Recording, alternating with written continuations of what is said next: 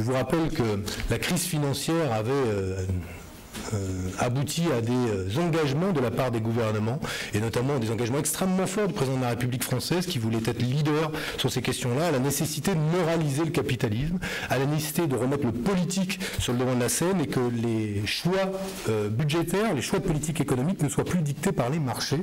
Il se passe exactement le contraire aujourd'hui, puisque ce sont les institutions financières internationales et les agences de notation qui déterminent les arbitrages à l'intérieur des budgets. Aujourd'hui, les budgets sont faits sous la pression des marchés plus que jamais.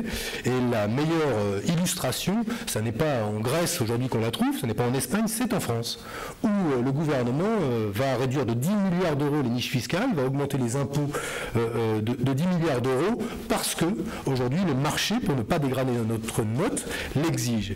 Et c'est la, première, le premier enseignement que je voudrais tirer de cette rentrée, l'échec complet à la fois de l'Union européenne, mais de ceux qui s'étaient posés en leader de l'Union européenne, le président de la République, à réguler les marchés financiers, à assurer une meilleure régulation de l'économie euh, européenne. C'est un recul démocratique évident quand aujourd'hui nos budgets ne sont plus euh, euh, conçus et construits par les parlements, mais sont construits par des agences de notation.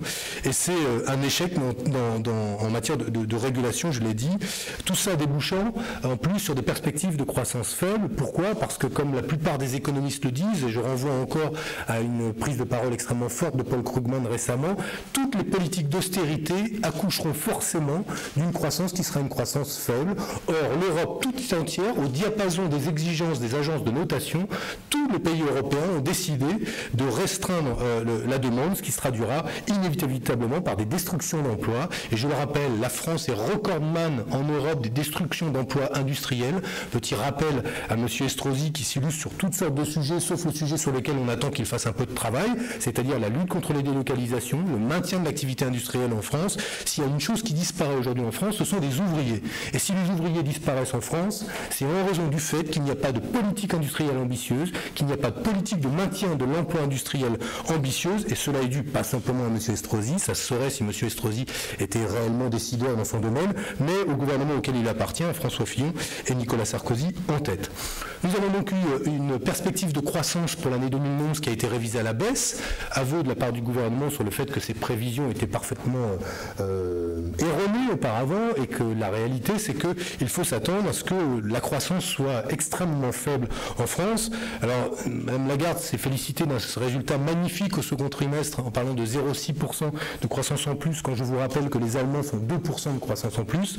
En réalité nous savons aujourd'hui que la France est inscrite dans un sillon de croissance très faible en raison du fait notamment qu'il y a une politique qui est une politique d'austérité une politique d'austérité qui se traduit par une plus faible consommation des ménages, quand on sait que jusqu'ici, les performances de l'économie française reposaient pour une grande partie sur ce qu'était la bonne santé des consommateurs français, le fait qu'ils continuent à consommer. Ce moteur-là est éteint et il sera durablement éteint en raison des choix politiques budgétaires euh, réalisés par ce gouvernement.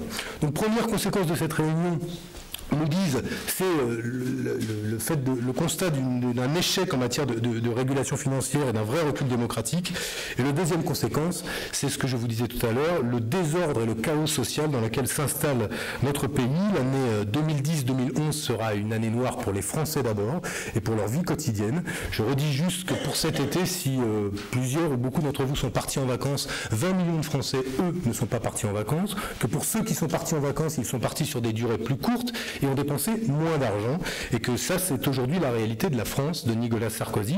Une France du désordre sur le plan économique. Les marchés nous dictent nos politiques économiques. Une, France du désordre sur le plan public. Aujourd'hui, il n'y a jamais eu autant d'insécurité d'atteinte et de violence faites aux personnes. Et une France du désordre sur le plan social. On n'a jamais été aussi peu protégé. Et ce qui s'annonce sera encore pire.